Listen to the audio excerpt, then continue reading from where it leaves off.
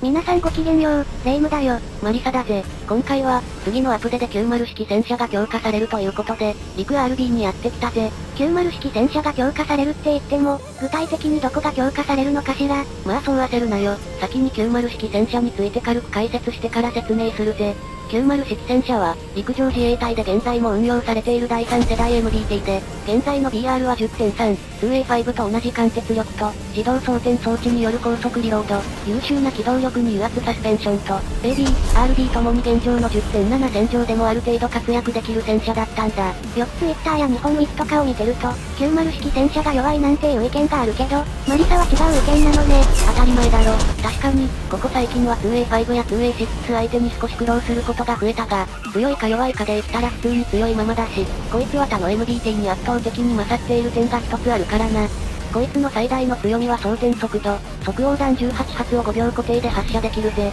同ランク帯で、こいつと同じ装填速度を持っていたのは、チャレンジャーの5秒、それもエース化した状態のやつだけだったぜ。つまり、MBT の中では最速のリロード速度を誇ってるってことよね。まあ探せばこいつより速い HSTVL、同じ5秒装填の CV90120、チェンタウロ MGS なんかがいるが、MBT の中では最速、チャレンジャー以外には1秒以上のアドバンテージを持っているぜ。改めて聞くと現状強くないしかも5秒間隔で打ち出される砲弾は、レオパルト 2A5 の DM33 と全く同じ JM33。しかも油圧サスペンションのおかげで地形変化にも柔軟に対応できるし、ライン側やベルリンのような、壁抜きされる市街地マップでは、車高を下げたおせんべいモードはかなり強力だぜ。こんなことを言うのもなんだが、90式戦車を弱いだったり使えないだったり、そういうことを言ってる人の気持ちが私には理解できなかったぜ。少し熱くなってしまったな。まあ解説したいことは喋ったし、いよいよ本題、この90式戦車だが、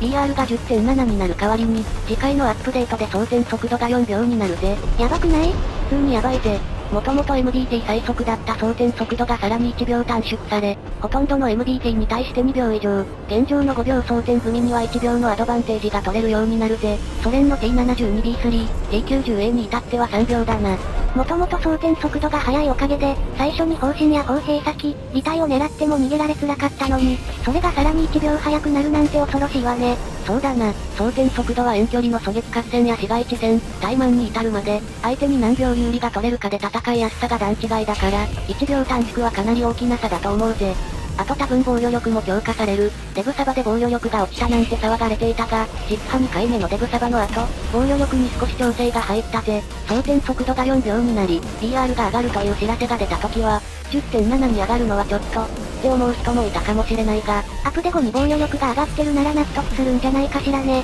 まあそうだな。実際どこまで上がるのか詳しくは書かれてなかったが、防順周り以外は防御力が上がるらしいぜ。アプデ後にどれくらい上がってるか楽しみね。まあ上がってようがなかろうが、装填時間短縮で10.7並みの性能を手に入れたと私は思っているし、アプデ後に乗ってみるのも面白いと思うぜ。ただマーベリックやらレオパルト 2PL 実装で環境が荒れるだろうから、私はほどほどに楽しむことにするぜ。そういえば、マリサが陸 RB やってるなんて珍しいわね。そうか別に試合展開が長かったり、移動して何もしない時間があったりするのが嫌いなだけで、気分転換でたまにやる分には面白いと思うぜ。それじゃ、私たちの出番はこの辺で終わりかな。まあ視聴者のみんなはブラウザバックするなり、垂れ流してる90の試合動画でも見ていってくれ。そこまで大量キルしてる試合でもないけど、2連スモーク抜きしてる場面があるぜ。